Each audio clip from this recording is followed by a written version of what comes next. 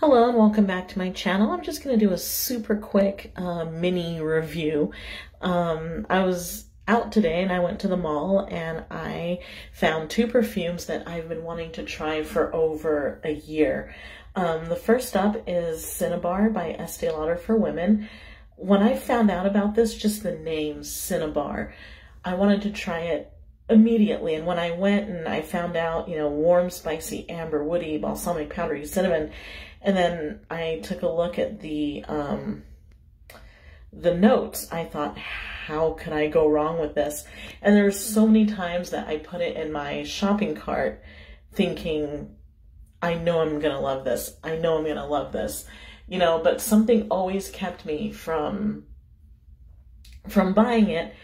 And um and you want to know something? I am so so happy I tried it in the store first because I absolutely hated it.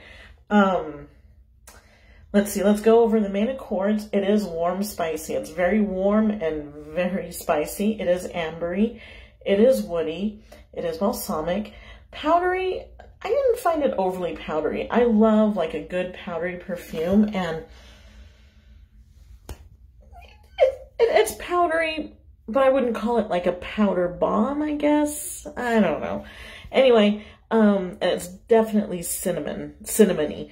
Um, let's see. And the bottle doesn't look like that anymore. They've updated. I'm guessing this is the the vintage bottle. Um, anywho, Cinnabar by Estee Lauder is an amber spicy fragrance for women. It was launched in 1978.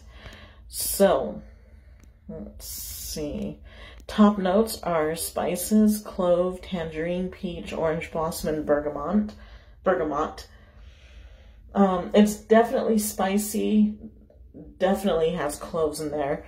Um, and yeah, I mean, I couldn't really hang on to the tangerine peach, orange blossom, and bergamot, but I'm not surprised at all that they're in there. Um, middle notes, cinnamon. This is a very, very cinnamony um, fragrance. As a matter of fact, it reminds me of those those red cinnamon bears. I don't know if they even still make those, but I used to make myself absolutely sick gobbling them up. You know, like you bite into it and it's just so hot and so spicy and so sweet. Um, it was like, it was like overdosing on a bunch of those. It was like getting like 20 of them and just shoving them in your mouth and just chewing them all at once. Um, carnation, you know, I don't, I don't get carnation in this. I'm guessing that all of this, Ylang Ylang, Jasmine Lily, Rose Lily of the Valley, it's all kind of invisible to me. Like, I don't doubt it's in there, but I, I really couldn't say that I picked up on it. Um, and I think, like I said in a couple of earlier videos, I'm not a big fan of carnation. Like, it's okay if it's blended in the background or it's well blended, but I'm not a fan of like a carnation heavy scent. Um, like if it leads with carnation, I'm finding that it's it's not really for me. Let's see, base notes. There's incense, tolu balsam, which is, I've never heard of that one before, amber, benzoin, sandalwood, patchouli, vanilla, and vetiver. I can, yeah, I can definitely smell the incense. Um, I've never, I don't know what tolu balsam is, but it kind of smells, I would imagine it would be, um, you know what, we can click on it and see. Musk, amber, animalic smell, yeah, a sweet amber balsamic fragrance. In that case, yeah, I think it's really heavy on, on that because there's, there's a smell in here that kind of knocked me out. I, I don't, I don't really know how to describe it. Like I sprayed it and for a split second, I really enjoyed like that strong, hot, spicy cinnamon smell. But then something else kind of started to come out in it and it almost downright stunk. And I'm kind of sad now because the smell's kind of going away. I wish I could have made the video when it was fresh. I'm smelling, it's been about four, it's been about yeah, four, almost five hours since I sprayed it. And it was strong for like a good three or four hours, you know, just barely now that it's starting to kind of go away. But it's kind of, I, I don't know. There was something kind of stinky. Oops. There was something kind of stinky about it that I really, that I really didn't like. Um, I, I don't really know how to describe it. It was, I found this perfume to be very overwhelming, which it's almost impossible for me because I love really strong scents. Um, obsession. I love obsession. Uh, Elizabeth Taylor's Passion. I love that one. And I have a lot a lot of others that are that you know a lot of people would be like oh it's too strong and i'm like i love it you know so i'm not someone who shies away from like a really spicy you know strong scent but this one it, it was too much for me. And like i said there was something in it that just did not it it kind of sat in the back of my throat. You know it, it, i felt like it punched me in my throat and then just sat there. And I'm not sure what it is. I don't know if it's, I don't, know if it was like the overload of spices or clove. I don't know if the cinnamon was too much. I don't know if it's this Tolu balsam. I don't know. Maybe it was too much incense. I don't know what it was or if it was a combination of all those things. It was just too much. But there was just something in the background that I found stinky and overwhelming. I read a lot of the um, uh, uh, reviews, and a lot of people were saying that it's been reformulated and it's nothing like it was in the 70s and 80s. And I wish I could have smelled it back then, but I I, I didn't get a chance to, so I, I can't really um, join in on that. Um, and someone else said that it smells like it has uh, civet in it, and it's very animalic. And and I guess they were right. I don't see civet in this, but maybe the Tolu balsam is what kind of gives it that animalic smell. I mean, like, um, not animalic. It's what maybe gives it that civet scent, and maybe that's what I'm reacting to. Maybe that's what maybe that's what to me is kind of what stinks about it. I'm not sure. But anyway, I am so happy that they had it in this store and I was able to try it because I've put this in my cart so many times and something always happens that I either forget about it or abandon the cart or take it out or whatever. And man, I would have been mad if I ordered a full bottle of this.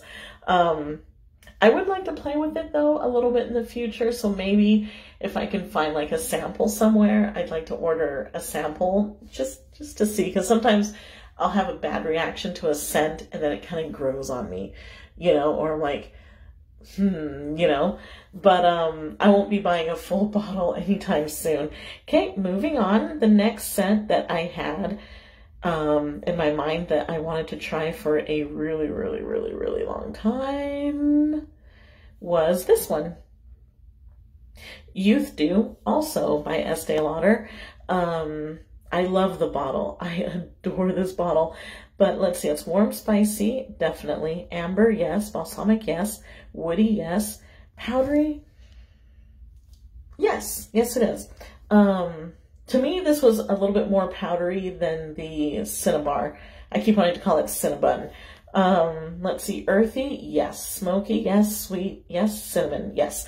And I saw a lot of people saying that Cinnabar and this one were really, um, really similar. We're really close. And you know what? It's true. But if I had to pick one that like if you presented me with both and said, you know, you can only pick one, I would pick uh, Youth Dew.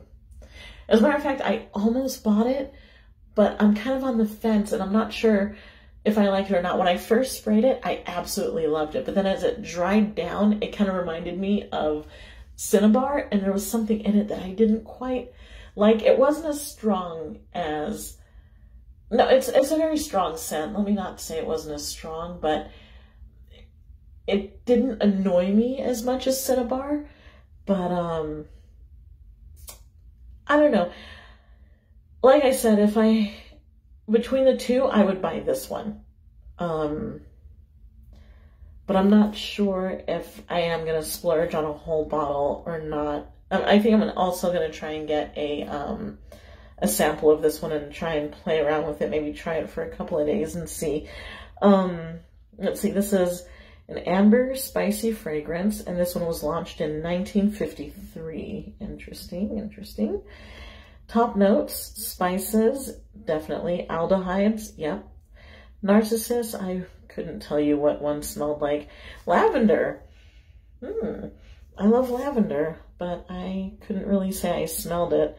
Orange, bergamot, peach, didn't detect any of that. Spices, cloves, cinnamon, definitely.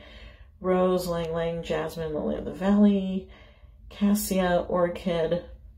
Yeah, sure, I'm not surprised it's in there, but I couldn't pick up on any of those. Incense, definitely.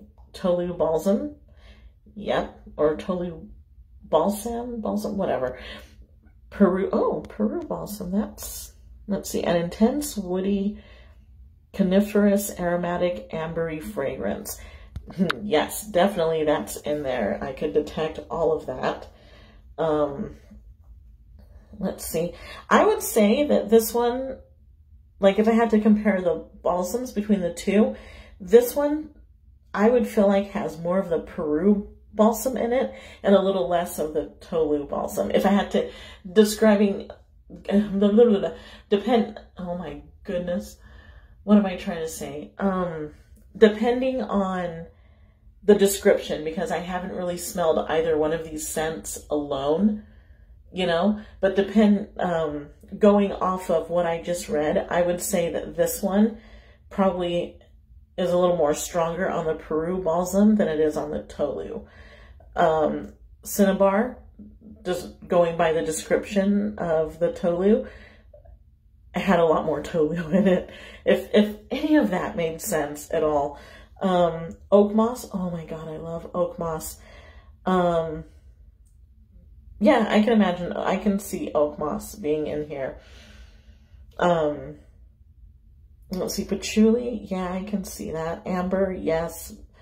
Vetiver, yes. Vanilla, yes. And musk. So, let's see. Anything else? Others by Estee Lauder. Do, do, do, so, so anyway, um, like I said, I almost bought this one. Come on.